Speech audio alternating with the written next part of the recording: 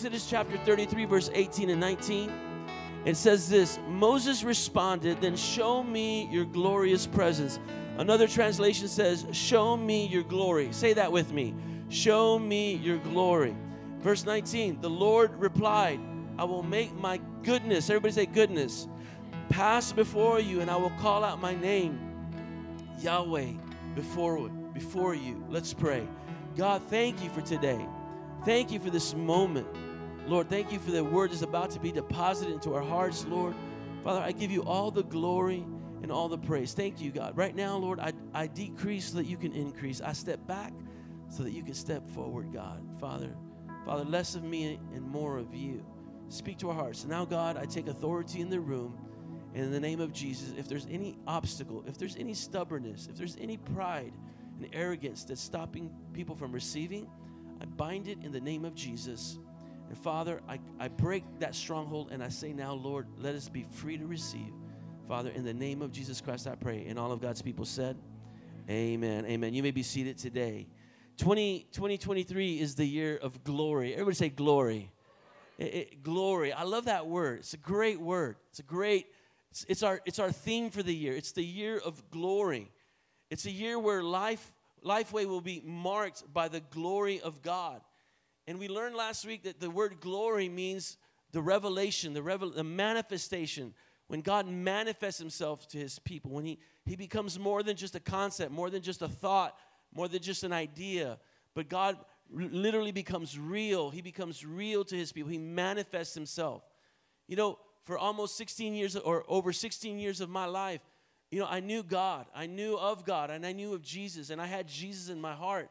But I had never, I had never experienced the presence of God, never experienced the glory of God.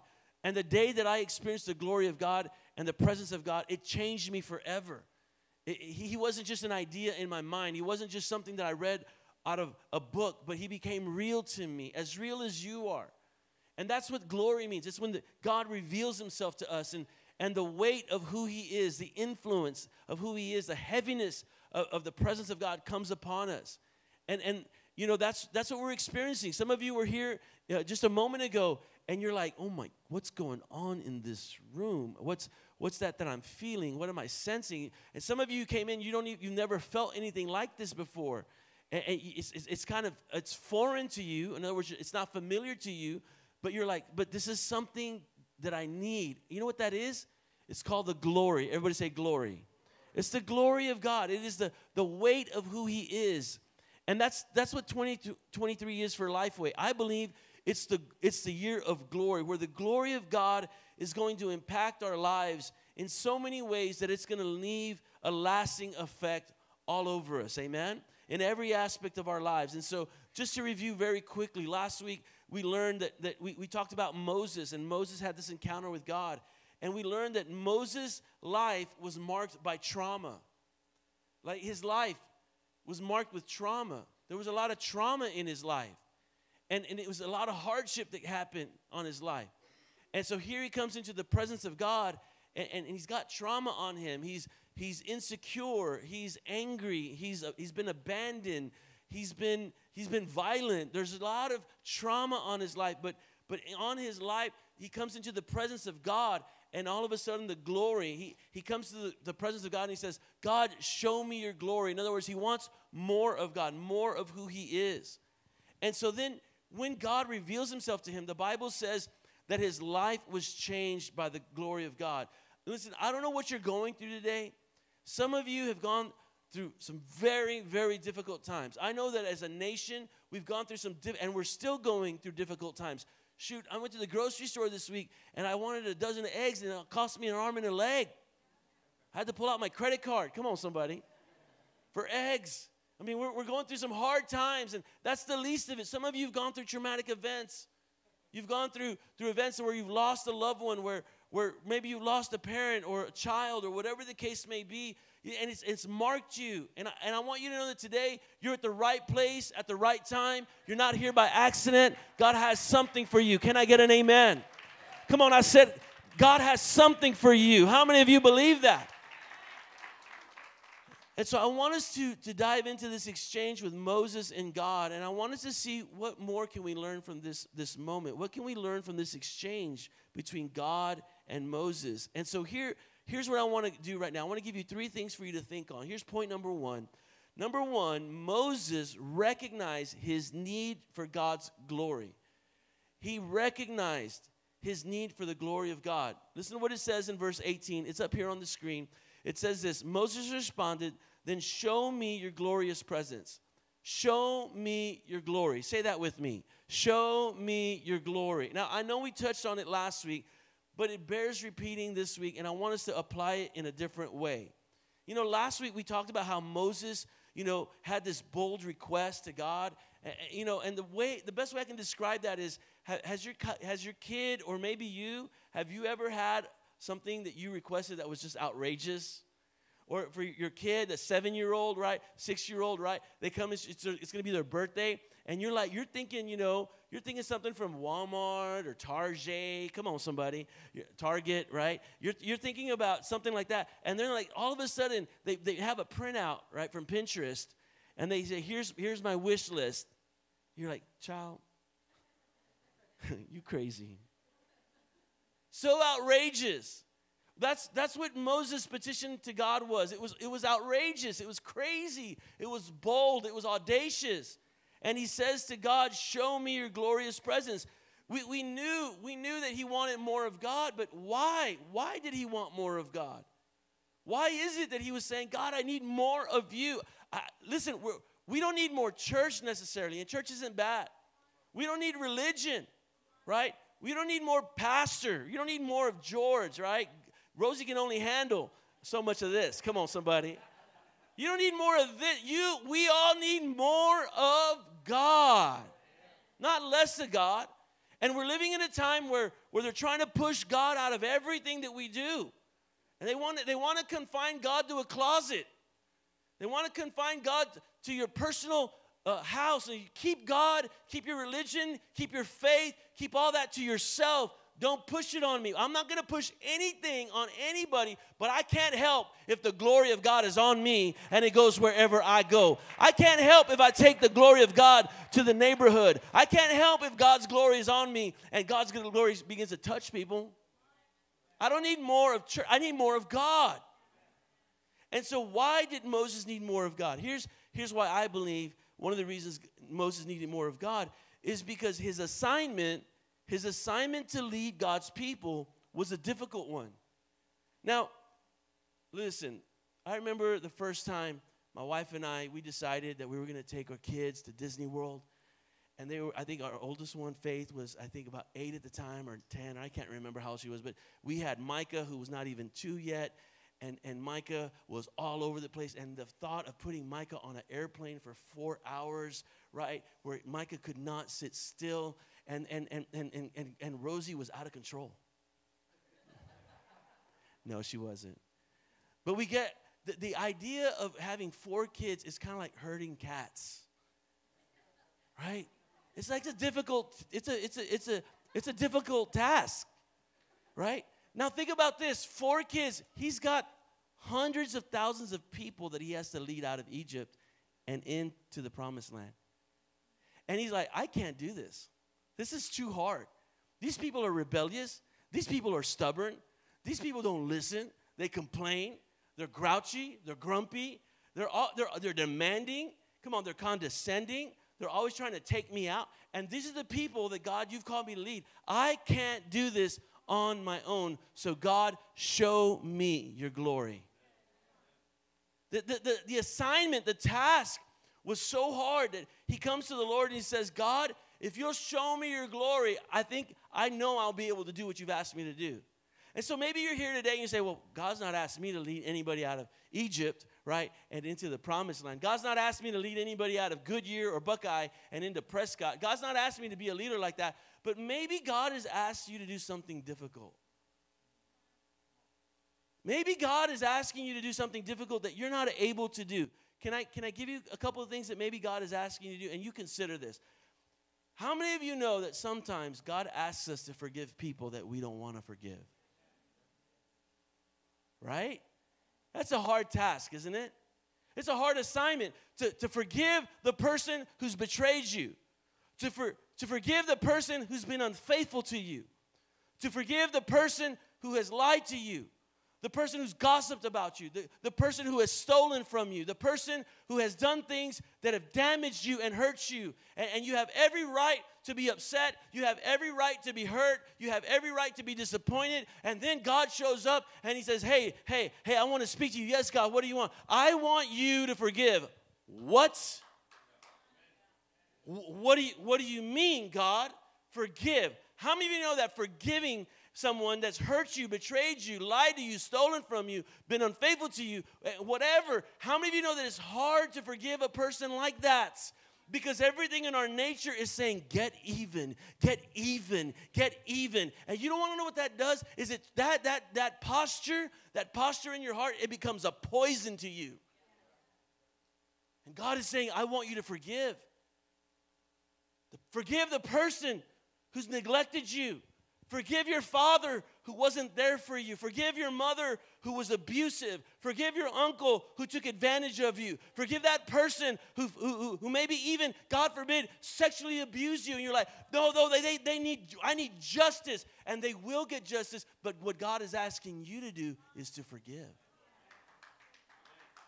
It's hard, isn't it? See, right now I'm talking about this, and some of you are clamping down. You want to know why? Because the enemy has used it to be a stronghold in your life. And this is why you haven't progressed in your life. This is why you're never happy. This is why you don't walk in peace. This is why you don't walk in freedom because you're holding on to things that's weighing you down. Got to forgive.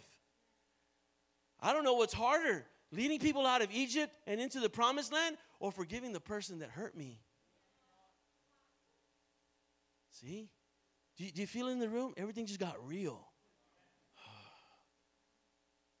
God wants to, the glory of God comes on you, and you wonder what happens?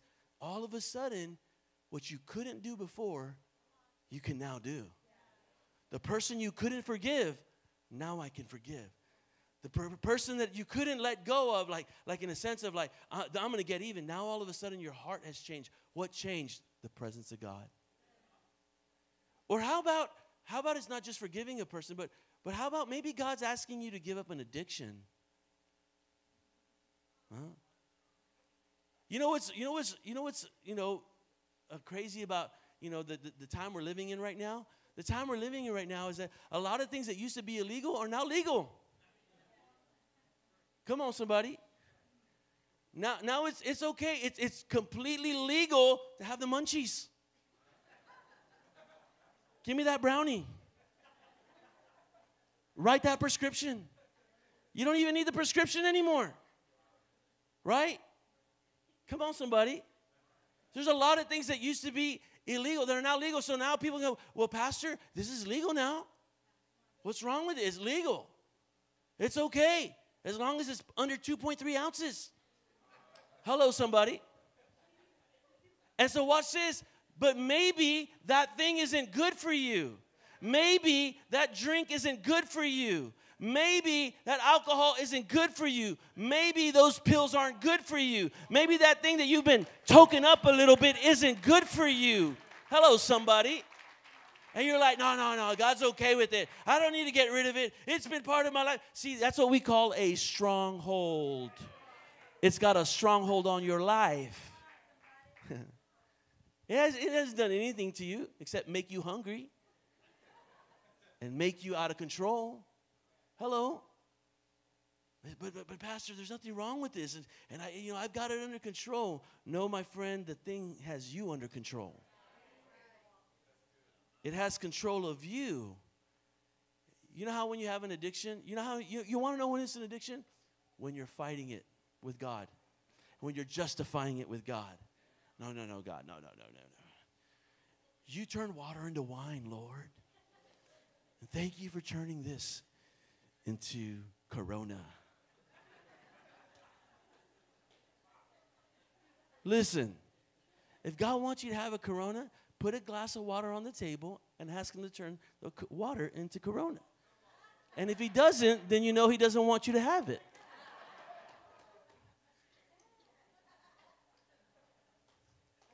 Come on, somebody.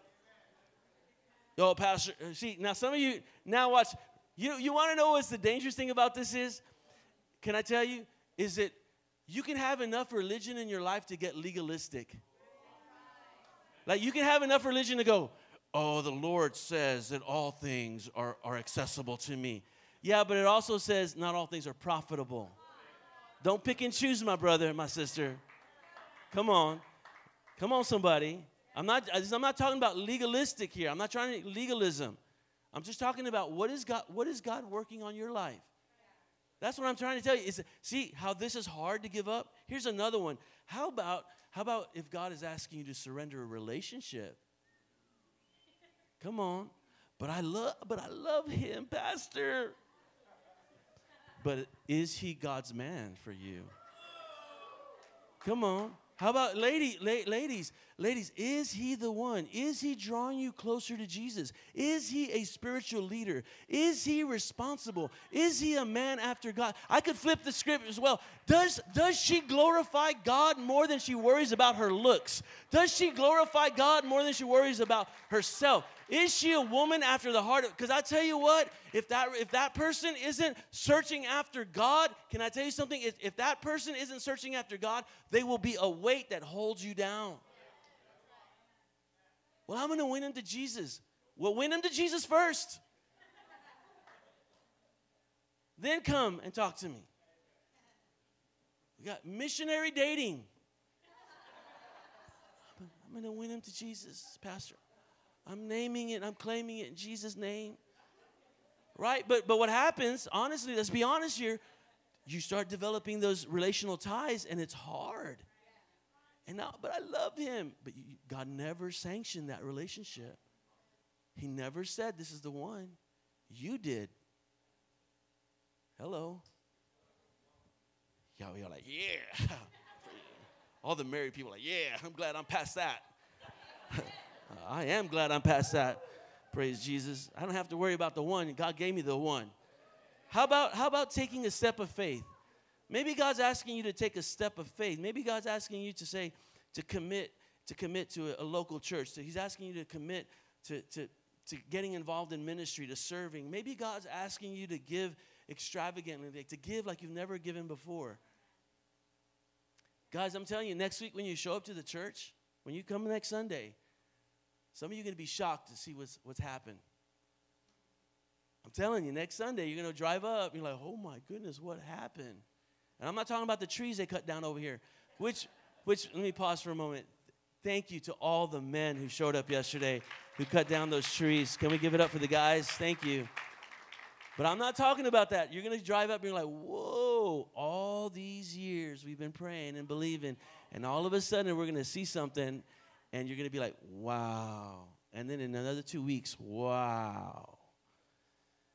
And so you're going to see this, this facility and you're going to go, wow. And then I'm going to say, it's time to give. And, you're, and it's time for you to go, wow. give extravagantly. Don't be stingy. Don't be greedy, right? Maybe I don't know what it is that God's asking you to do, but but all I know is that I can't do it without God. I can't forgive without God. I can't quit that addiction without God. I can't surrender that relationship without God. We can't do that. There's no way we can do that. We can't give extravagantly. We can't take that step of faith without God. And so I believe that Moses was saying, Show me your glory, because he was saying, Listen, God, if you're with me, I can do what you've called me to do. If you're with me, I can do everything that you've called me to do. Can I, can I give you a Bible today? Can I give you some Bible scriptures? Here's some Bible scriptures. Here it is. Ready? Philippians 4:13 says this, I can do all things through Christ who strengthens me. Matthew 19, 26, Jesus said, With man this is impossible, but with God all things are possible. Genesis chapter 18, verse 14 says this Is there anything too difficult for the Lord? Job 42, 2 says this I know that you can do all things. Romans 8:31 says, "If God is for us, who can ever be against us?" Psalms 18:29 says, "In your strength I can crush an army. With my God I can scale any wall." Somebody give God praise that with God all things are possible. You see, with God's glory on my life, I can accomplish all that God has set before me. With God, there's nothing that I can't do. With God, there's nothing that I can't accomplish. With God, I can do the impossible. You want to know why? Because when I get into the presence of God, when I get when I experience the glory of God, I come out from that experience believing that everything is possible. Why? Because when I get into the presence of God, I get God's perspective. I, there was a I don't have the picture of it up here, but there was a meme I saw recently on social media and it had a picture of a little kitten. Little kitten, cute little kitten. Have you ever noticed that kittens are cute, but then they get bigger and they get become cats, and cats aren't so cute sometimes, right? I have a cat at home. He's got a flat face. He's, he, he's, he's, he does. Rosie smacked him one day really hard. No, I'm playing. I'm joking. I'm joking. I'm joking. It's a flat faced cat, right? Flat. Don't, uh, PETA. I'm just joking, okay? Just joking, PETA. Right? Send your emails to I don't care at gmail.com. Anyway, but check this out. So, so in, in, this picture, it says, here's a little kitten, cute little kitten. It says, and, and it says, how I enter into the prayer. I, I, go in like a kitten. But when I come out of prayer, it had a, a picture of a lion. So when I come into the presence of God, I come in like a, a meek, humble little kitten, like, you know, meow, meow, meow, meow. Come on. Come on, look at your neighbor and say meow, meow, meow, meow. Come on, say that. Meow, meow, meow, meow, meow. Some of you, I bet you, Raina's like, I ain't saying meow, meow. Sorry, Raina, I'm sorry. You don't have to say that. Yeah. But you come in like a little meek little kid, and you're like, you're like, oh, little cute. But then you come out of the presence of God, and you come out like a roaring lion. You come out strutting. Why? Because everything changed in the presence of God. What seemed impossible now becomes possible. He said, I could never. He said, I could always now, right? Why? Because you got God's perspective. How many of you know that from God's perspective, everything is smaller than God? Every mountain, every difficulty, every crisis, every challenge, everything is smaller than God. That's why I need the glory of God in my life. I need His glory and that's why I say to God, Show me your glory. Look at your neighbor and say, Show me your glory. Come on, say that. Come on, show me the glory. Here's number two. You ready? Here's number two. God responds to Moses. Listen to what it says in verse 19. Then show me your glorious presence. Here it is, verse 19. The Lord replied. Say that with me. The Lord replied. We, we look at that verse, and I don't want us to overlook that. The Lord replied. Because some of you, you've been crying out to God for things for a long time and you don't think God has heard you. And you're upset and you're disappointed and you're discouraged because you think, God, I've been praying for my kid. I've been praying for my relationship. I've been praying for that job. I've been praying for that miracle. I've been praying for my family. I've been praying for this, and, and nothing has happened. And you feel like God has forgotten about your situation. You feel that God has forgotten about your request. And you've been saying, God, when are you going to answer? I want you to know, I want you to hear this today that no matter how long you've been waiting and no matter when you prayed this prayer, you have to know that God heard you and that the Lord has replied. I wish I could tell you that, well, you know what? God's, God is going to reply instantly. I wish I could tell you that God is going to, by tomorrow morning when you wake up at 8 o'clock or 6 o'clock or 4 o'clock, whatever the time you wake up to go to work or go to school, by that time, the answer is going to be manifested and it's there. I wish I could tell you that that was the fact, but I don't know when, I don't know where, I don't know how, I just know that He does. The Lord replied. The Lord has heard. Somebody needs to hear that today. Everybody look at me. Everybody look at me. Listen, you have been crying out to God. And I want you to know something God has seen your tears, God has heard your cry, and He has replied. But don't let your impatience get in the way. Don't let your impatience hold you back. Don't let your impatience, listen, cause you to give up. Don't allow your impatience to say, to cause you to say, I quit. You say, well, my son hasn't changed yet. My kids haven't changed yet. I haven't changed yet. My situation hasn't changed yet. And my marriage is still the same. And if, if I'm honest, it's actually getting worse. And my family's getting worse. And my financial situation is getting worse. And every, listen, God has replied. Matthew chapter 7, verse 7 says this it says, Ask and you shall receive, seek and you will find, knock and the door will be open. Does that not sound like a God who answers our cries? I like what it says in Psalms 34, verse 4 through 8. It says this in the, in the message translation. It's a little bit different. It says this God met me more than halfway. He freed me from my anxious fears. Look at him. Give God, your warmest smile. Never hide your feelings from Him. When I was desperate, I called out, and God got me out of a tight spot. God's angels set up a circle of protection around us while we pray. Open your mouth and taste, and open your eyes and see how good God is. Blessed are you who run to Him. God answers prayer. Can I get an amen? He answers prayer, but but here's the thing is sometimes, right, God doesn't answer immediately. You want to know why? Because sometimes God uses the time in between He heard our cry and replied to it to the moment we saw the answer. Those, those are two different moments. Listen, sometimes use, God uses that time between point A and point B to build something in you. I mean, think about this parent. What, what, what good would you be doing for your child if every time they ask for something, the moment they asked for it, you immediately gave it to them. What would you be creating in them? You would be create you wouldn't be creating necessarily a grateful child. They could be, I don't know. But can I tell you what you'd be creating? You'd be creating a spoiled child who doesn't maybe value what it takes for you to work so that you can get what they've been asking for. You want to know what's developed in that time period? It's something that we call character. Something is being formed in us. Character. Your kid comes to you. I mean, if it were for Micah, if it were for my son, my youngest son, my youngest son is 12 years old right now. Do you know how long he's been asking me for a Corvette? Do you know how long he's been asking me for a Ferrari, a Lambo? He's been asking me. He's like, oh, he knows how to ask for big things, right? Oh, he sure does. But it's a responsible parent isn't going to give him those things. Now, if he gets older and he does well, then he can get one for his dad. But what happens is they don't have the maturity and the character to be able to get what they ask for all the time.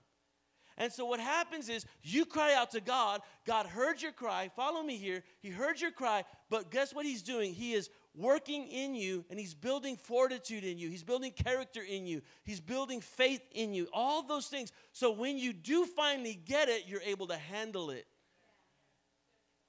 Are you following me? It's kind of like you're at Lifeway. Do you know how long we've been praying and believing God for a building? It's embarrassing to mention. For me, honestly, it's like we've been on this since 2017. God, we need a new building. God, we need a new building. God, we're raising money for a building. God, we built, we bought plans. We got plans. We went to the county. All the and nothing and nothing. And then COVID, and it just set us back another two or three years. And just when we thought we were about to do it, you know, COVID hit and it just set us back. And I'm like, it's, it's almost embarrassing for me to say, hey guys, uh, we're just waiting on this building thing. And, and, and it's like, here we are seven years later. God heard me when we, we prayed about it in 2017. People started giving to it back in 2017. So how come it's a 2023? It's because it's God's time. It's not my time. But you know what God showed me? He showed me this. George, if you would have built that building back in 2017, you didn't have the leadership able to sustain all the people that would have come.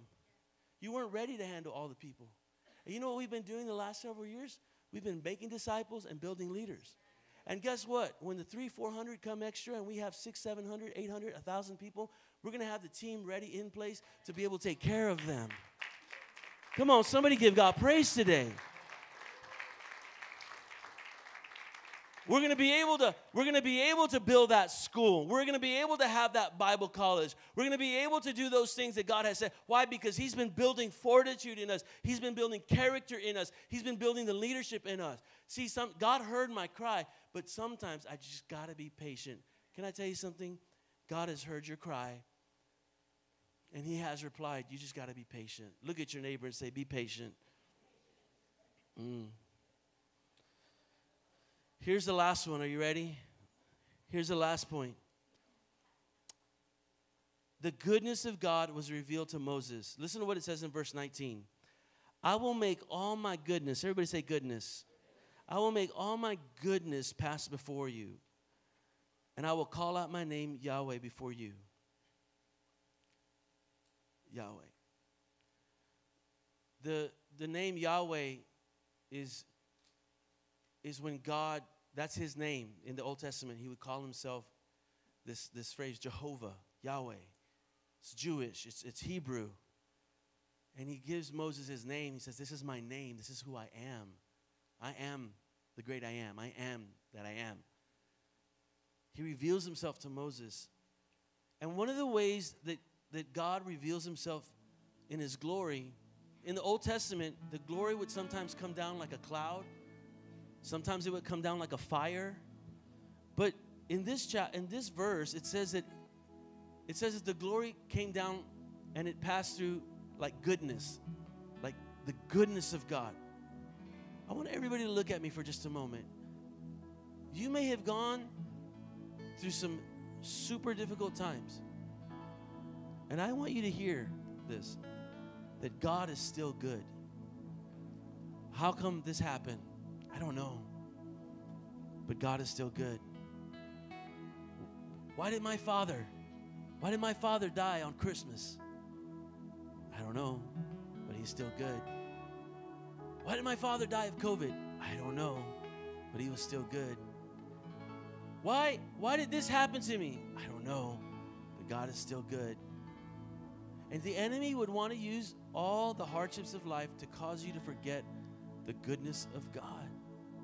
Listen, one of the misconceptions about God is that a lot of people think that he's distant, that he's if God exists, he's a million miles away somewhere in the heavens.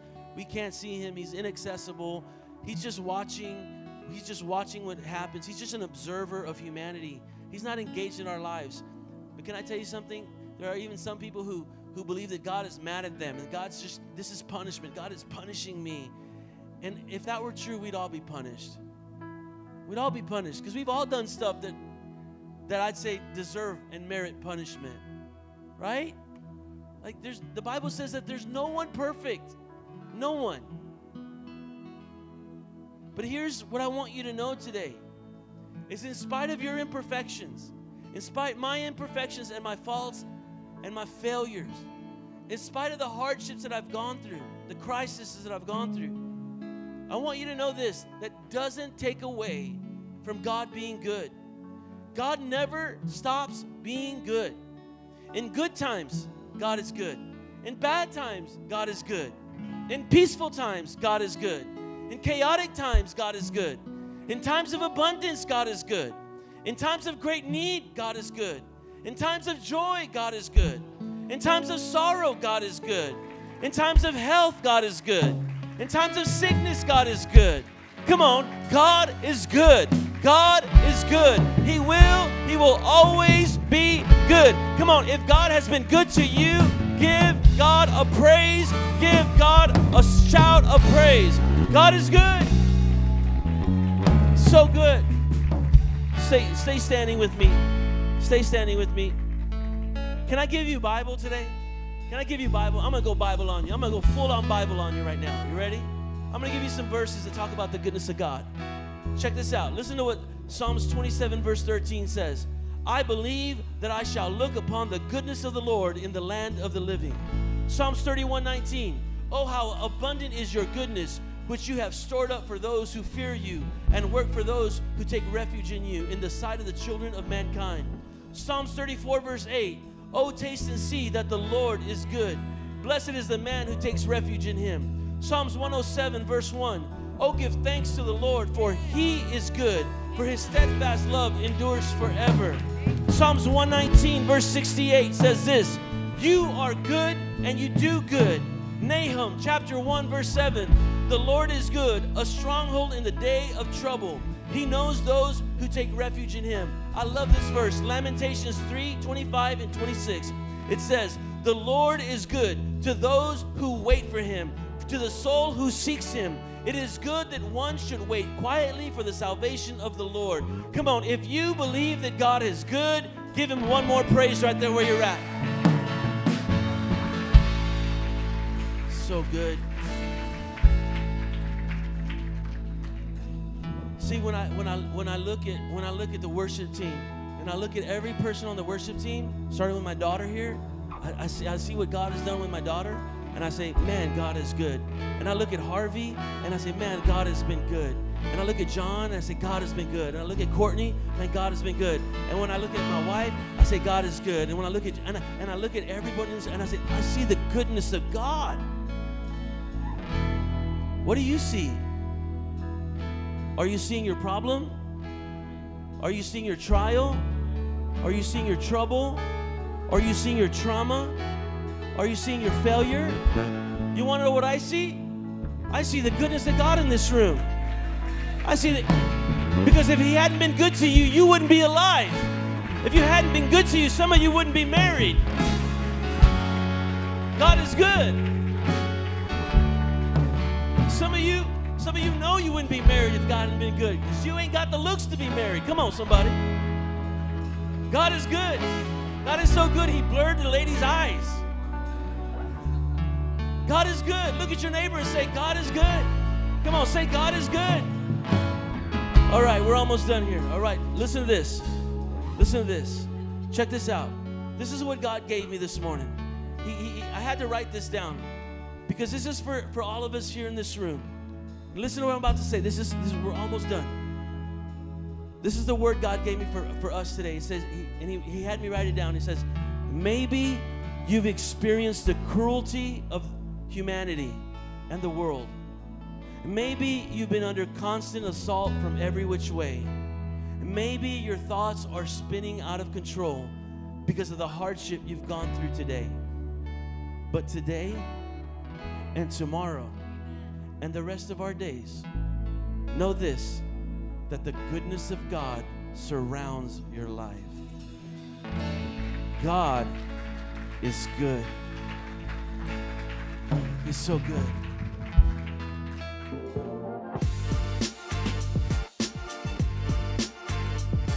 Hey guys, thanks so much for watching. We hope you're blessed by today's video. Don't forget to like, subscribe, and follow our social media platforms in the description below. God bless.